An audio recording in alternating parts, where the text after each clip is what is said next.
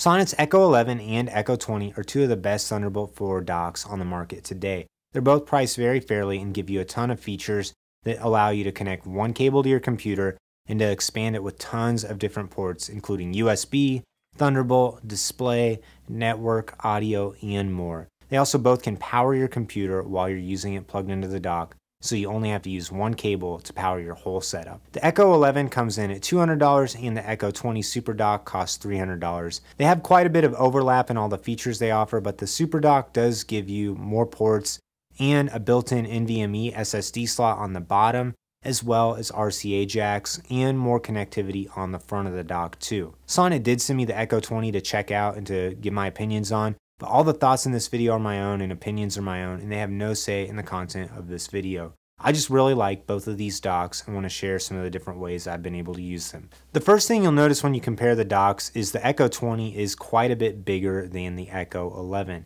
Both of them have a very large power adapter, but the Echo 20's body is bigger. Now on your desktop setup, it really won't make a ton of difference as far as size goes. I don't think you're really going to want to travel with either of these docks, as both of the power bricks are really big and annoying to travel with.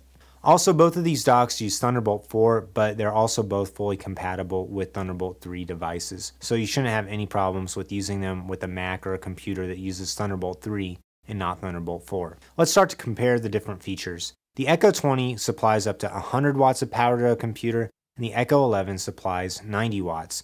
I didn't have issues with either of them powering a 16 inch or 14 inch M1 Max MacBook Pro.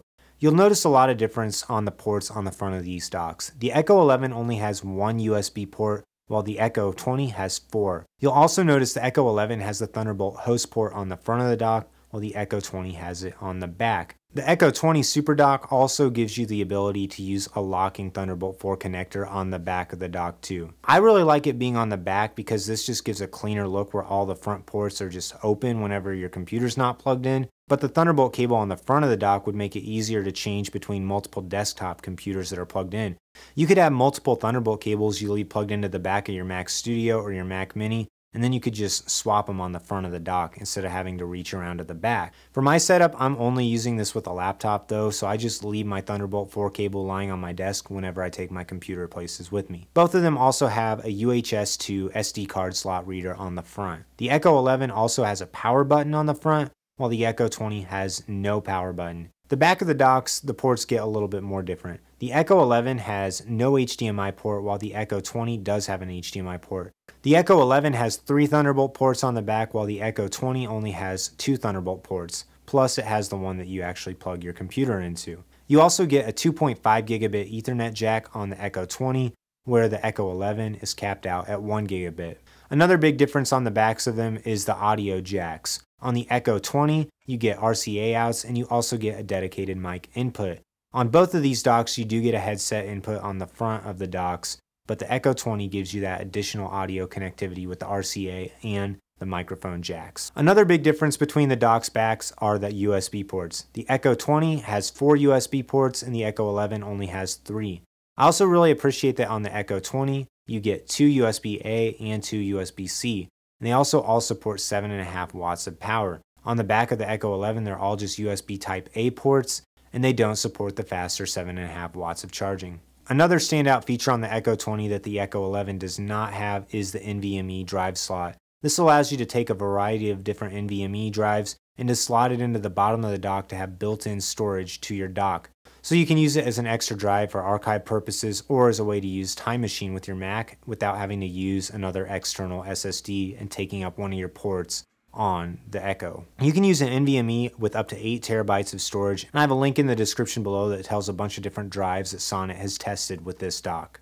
Now it's also worth noting Sonnet has another version of the Echo 11 that is the Echo 11 HDMI dock, and these two are very similar, but they have a couple small differences. The Echo 11 HDMI has a faster USB port on the front than the Echo 11 standard does, and the Echo 11 HDMI also trades in one of the Thunderbolt ports on the back for an HDMI port.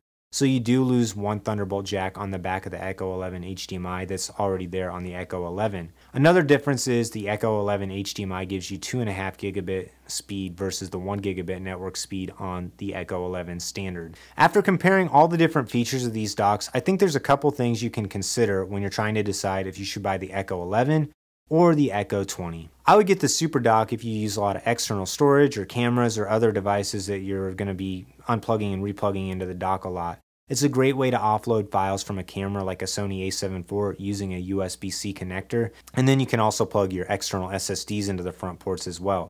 So it's a great workflow using external storage. If you want to use more Thunderbolt 4 devices, then I would consider just buying the Echo 11 standard version because you get more Thunderbolt 4 ports on the back of it. But if you're using a display that uses HDMI, you should consider buying the Echo 20 Super Dock or the Echo 11 HDMI dock because then you won't have to use a dongle or an adapter. I'll buy the Echo 11 if you're more on a budget and you just want a device that can power your computer, give you that network connectivity, as well as to plug in a couple different USB devices on the back. But if you really want to do a lot of external storage, using cameras, and just changing your devices that are plugged into the front of the dock, then to me the Super Dock is the only way to go. You also get the RCA jacks, a mic jack on the back, and you get the built-in NVMe SSD slot on the bottom too.